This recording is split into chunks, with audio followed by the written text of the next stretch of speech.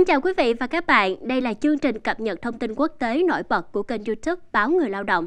Nội dung chi tiết sẽ được gửi tới quý vị ngay sau đây. Mời quý vị theo dõi.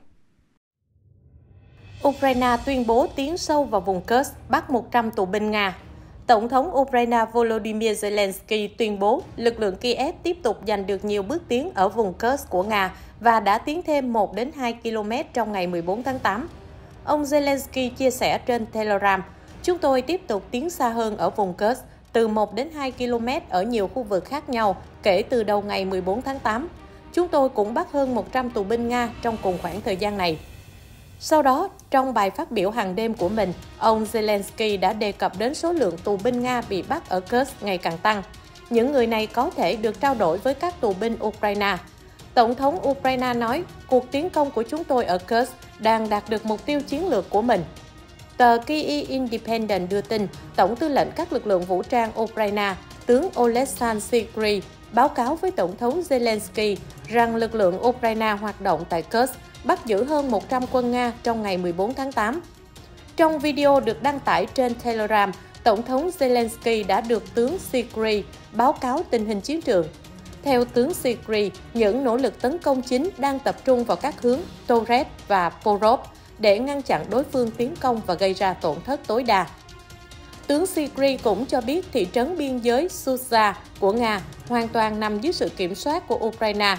Ông Sikri nói trong video, việc tìm kiếm và hạ gục đối thủ ở khu định cư Susa đã hoàn tất.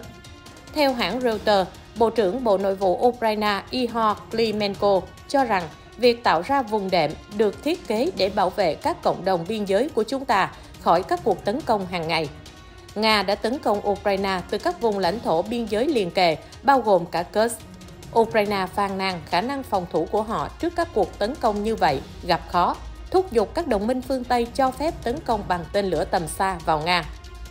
Trong khi đó, Tổng thống Nga Vladimir Putin đã tuyên bố sẽ đẩy lùi quân đội Ukraine. Tuy nhiên, Yuri Podolyaka, một blogger quân sự thân Nga có ảnh hưởng người Ukraine, đánh giá tình hình vẫn còn khó khăn. Bộ Quốc phòng Nga ngày 14 tháng 8 tuyên bố quân đội Nga đã đẩy lùi nỗ lực tiến sâu hơn của lực lượng Ukraine ở Kursk. Thiếu tướng Abdi Alaudinov Phó Cục trưởng Cục Chính trị Quân sự của lực lượng vũ trang Nga và chỉ huy lực lượng đặc nhiệm Atmat thông báo lực lượng Nga đã tiến hành một cuộc tấn công lớn nhằm vào quân đội Ukraine tại khu định cư Martinovka ở Kursk. Kênh truyền hình một của Nga dẫn lời ông Alaudinov nhấn mạnh, cuộc tiến công tích cực của Ukraine đã bị chặn lại và hiện họ đang cố gắng tiến vào một số khu vực. Chúng tôi đã gây ra thiệt hại nghiêm trọng cho họ tại khu định cư Martinovka nơi Ukraine lên kế hoạch di chuyển. Ông Alaudinov nói thêm, bây giờ họ không tiến lên nữa, một số lượng lớn binh lính và thiết bị đã bị xóa sổ và quá trình này vẫn tiếp tục. Ukraine tấn công 4 căn cứ không quân của Nga. Theo Reuters, nguồn tin an ninh Ukraine cho biết nước này vừa tiến hành một cuộc tấn công bằng máy bay không người lái lớn nhất nhằm vào các sân bay quân sự của Nga vào dạng sáng ngày 14 tháng 8. Đó là các căn cứ không quân Voronezh, Kursk, Savaslayka và Borisovlet. Ukraine cho biết hành động này nhằm làm suy yếu khả năng của Moscow trong việc sử dụng máy bay chiến đấu để tấn công bằng bom lượn vào Ukraine. Nguồn tin nói trên cũng cho biết phía Ukraine đang đánh giá mức độ thiệt hại mà họ gây ra. Reuters không thể xác minh độc lập ngay lập tức tuyên bố này. Cuộc tấn công vào các sân bay diễn ra trong bối cảnh quân đội Ukraine đang tiến sâu vào khu vực Kursk của Nga sau khi họ phát động một chiến dịch bất ngờ xuyên biên giới hôm mùng 6 tháng 8. Phó Thủ tướng Ukraine Irina Vereshchuk cho biết, quân đội của họ sẽ mở một hành lang nhân đạo ở Kursk để sơ tán dân thường theo cả hai hướng đến Nga hoặc đến Ukraine. Ngoài ra, Kiev cũng sẽ cho phép các tổ chức nhân đạo quốc tế vào khu vực mà quân đội của họ đã phát động một cuộc tấn công lớn, theo đài Al Jazeera. Song song với đó, Tổng thống Ukraine Volodymyr Zelensky còn để ngỏ khả năng thành lập chính quyền quân sự tại vùng Kursk điều ông đã nhắc đến trong một cuộc họp về tình hình an ninh và nhân đạo tại khu vực này. Phía Moscow tuyên bố rằng quân đội của họ đã đẩy lùi bước tiến của Ukraine tại Kursk, trái ngược với tuyên bố của ông Zelensky rằng quân đội Ukraine đang tiến lên. Cụ thể hơn, Bộ Quốc phòng Nga trước đó cho biết lực lượng phòng không của nước này đã phá hủy 117 máy bay không người lái và 4 tên lửa chiến thuật do Ukraine phóng vào một số khu vực, bao gồm cả Kursk. Những nỗ lực đột phá sâu hơn vào lãnh thổ Nga bằng xe bọc thép của đối phương đã bị đẩy lùi.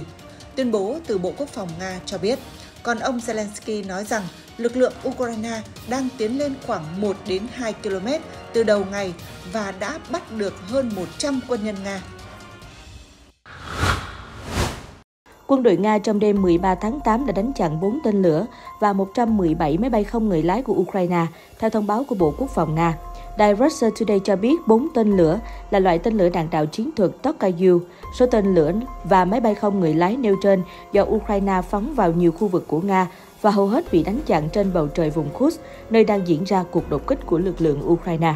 Những khu vực khác là mục tiêu của đợt tấn công này bao gồm các vùng Voronezh giáp biên giới Ukraine, Belgorod, Zhiny, Novgorod, Volgograd, Ryan, Orion và Rostov, theo Bộ Quốc phòng Nga. Chưa có báo cáo về thương vong, song các mảnh vỡ tên lửa và máy bay không người lái đã làm hư hại nhiều tòa nhà và phương tiện đi lại. Theo Russia Today, Ukraine tăng cường phóng máy bay không người lái vào Nga từ tháng 1 năm nay với mục đích tấn công hệ thống hạ tầng năng lượng. Moscow đáp trả bằng cách bổ sung các máy điện của Ukraine vào danh sách mục tiêu quân sự hợp pháp. Trong diễn biến liên quan, tỉnh Belgorod giáp với tỉnh Kursk đã ban bố tình trạng khẩn cấp. Thống đốc vùng Vyacheslav Gladkov thông báo trên Telegram ngày 14 tháng 8 rằng các cuộc pháo kích của lực lượng Ukraine đã phá hủy nhiều nhà cửa ở đây và cho biết thêm đang kêu gọi chính phủ ban bố tình trạng khẩn cấp liên bang, mức cao nhất ở Nga, áp dụng cho Kursk từ ngày 9 tháng 8. Quân đội Ukraine triển khai binh sĩ cùng xe tăng thiết giáp tràn vào Kursk từ sáng mùng 6 tháng 8 và giao tranh quyết liệt kéo dài cho đến hôm nay. Các blogger quân sự Nga cho biết Ukraine đã tập trung ba nhóm quân khá lớn ở ranh giới phía tây Belgorod. Nga đã kích hoạt cơ chế chống khủng bố tại Kursk, Belgorod và một tỉnh biên giới khác là Bryansk. Hoạt động sơ tán người dân đã được thực hiện những ngày qua. Phía quân đội Ukraine ước tính lực lượng nước này đang kiểm soát hơn 1.000 km lãnh thổ Nga. Tổng thống Nga Vladimir Putin cáo buộc Ukraine phát động chiến dịch nhằm tăng cường vị thế trên bàn đàm phán trong tương lai. Ngoài ra, Kiev xác nhận chiến dịch còn nhằm cản bước tiến của Nga ở miền đông Ukraine. Cảm ơn quý vị và các bạn đã theo dõi chương trình cập nhật thông tin quốc tế nổi bật trong ngày qua của báo Người Lao động. Đừng quên theo dõi kênh youtube báo Người Lao động. Chúng tôi còn rất nhiều chương trình hấp dẫn khác đang chờ đón quý vị. Xin chào và hẹn gặp lại quý vị.